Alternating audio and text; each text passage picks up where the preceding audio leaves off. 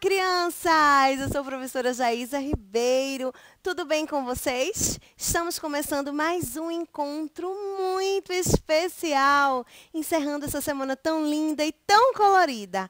Isso mesmo, durante todos esses dias aprendemos muita coisa.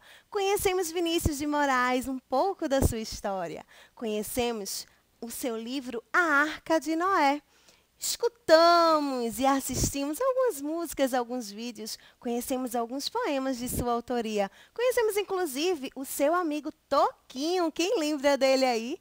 Pois é, e durante esta semana fizemos alguns animais. A nossa abelhinha, a borboleta que está na cozinha fazendo chocolate para a madrinha, a dona foca que gosta de bater palminhas e o grande pato pateta que fizemos ontem. Quem lembra?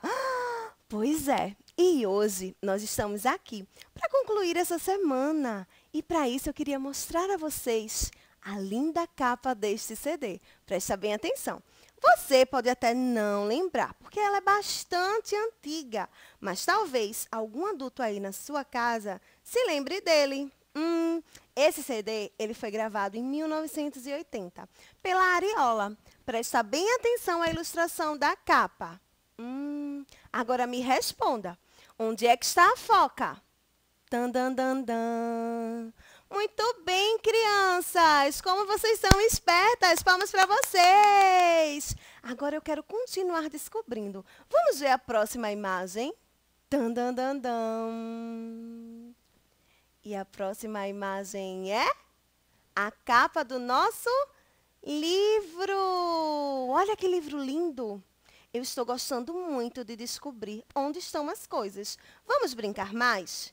Observe bem a ilustração de Nelson Cruz. O livro Arca de Noé, de autoria de quem? Vinícius de Moraes. Onde está aquele pato treloso? Quem consegue achar? Um, dois, três. Meu Deus, você conseguiu ver alguns dos bichinhos que estudamos nessa semana? Será que está faltando algum? Hum, volta para mim. Não sei não, hein? Mas eu tô querendo fazer uma lista. Será que a gente consegue fazer uma lista? Mas para eu fazer uma lista eu preciso de um título. Quem pode soprar aí para mim um título para essa lista? Deixa eu botar minha mãozinha aqui no ouvido. Tá baixinho, tá baixinho. Mais alto, mais alto. Vai, vai, vai. Eita. Vamos ao quadro fazer nossa lista. Hum, o título ficou animais, animais de Vinícius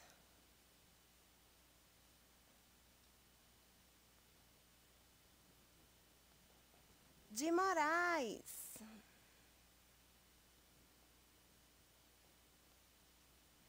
Hum, quem é que lembra qual foi o primeiro animal que trabalhamos esta semana? Quem consegue lembrar? Vou pegar ela aqui. Zum, zum, zum, zum, zum. Quem é ela? As abelhas. Vamos lá.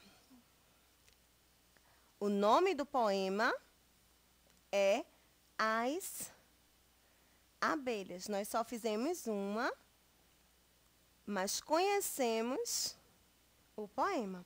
O segundo foi. Quem lembra de quem?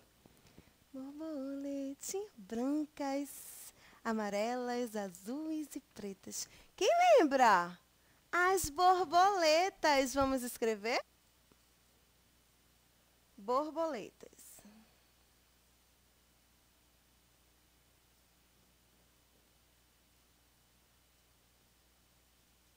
As borboletas. Quem consegue lembrar a nossa terceira aula? foi o pato.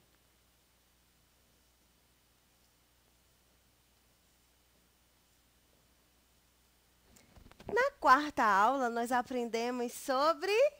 Quem lembra? A foca.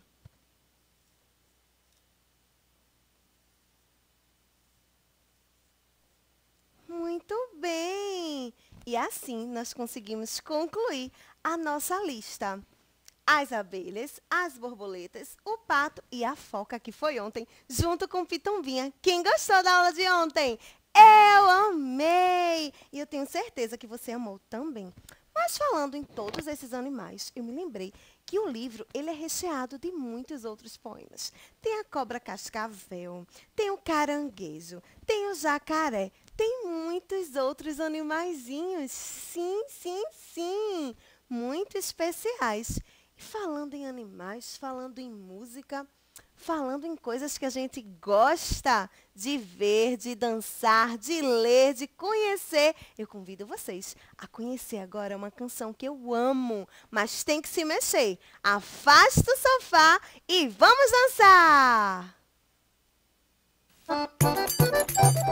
depois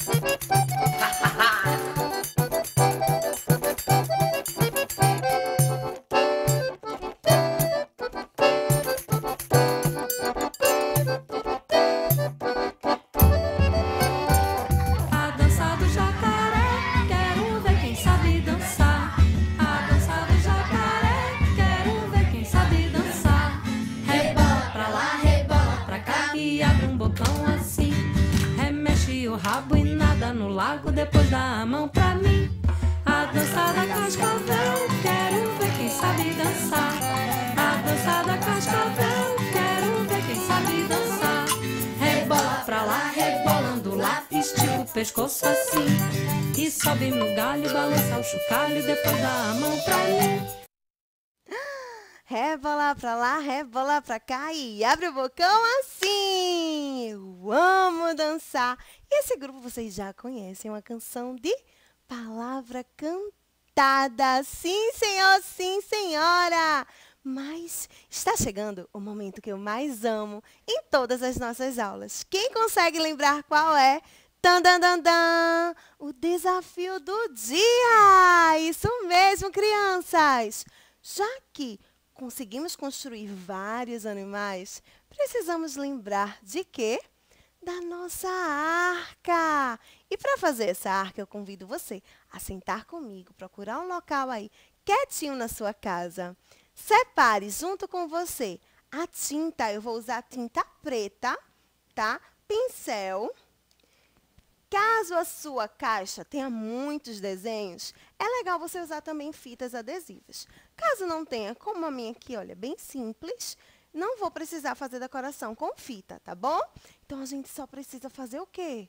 Ter uma porta, ter janelas, para a gente colocar os nossos animais aqui dentro e guardar com muito carinho dessa linda semana.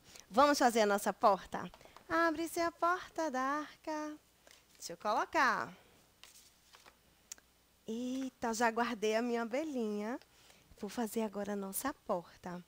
Olha só, tinta preta. Lembrando, são muitos animais. E por aqui vai, vão passar elefantes, girafas.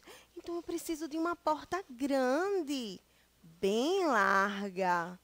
E a gente vai fazendo a porta com muito carinho, com muita atenção, com muita atenção. Você vai pintando do seu jeitinho.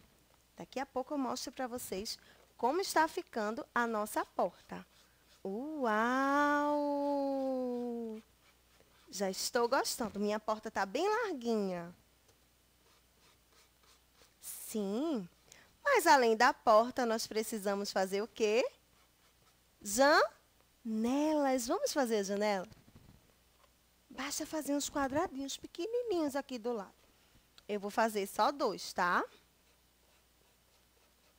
Vocês podem enfeitar toda a caixa, colocar no sol para secar. Caso não tenha sol, deixa na, na sala aí da sua casa, que ela vai secando com o vento mesmo. Olha só! Abre-se a porta da arca. Eita! E aqui dentro vão todos os nossos animais que brincamos e fizemos durante toda essa semana. Um cheiro para abelha, um cheiro para borboleta, um cheiro para foca. Quem puder fazer mais um de cada, porque lembra que na Arca de Noé entraram dois animais de cada? Pois é, capricha aí, deixa sua arca bem linda, que nós estamos, infelizmente, concluindo essa semana tão divertida. Eu amei brincar com vocês, conhecer um pouquinho mais da história de Vinícius de Moraes. Junto com vocês, ouvir, dançar e aprender tantos poemas sobre tantos animais. Um cheiro grandão no coração de cada um. E até a próxima aula. Tchau, criança!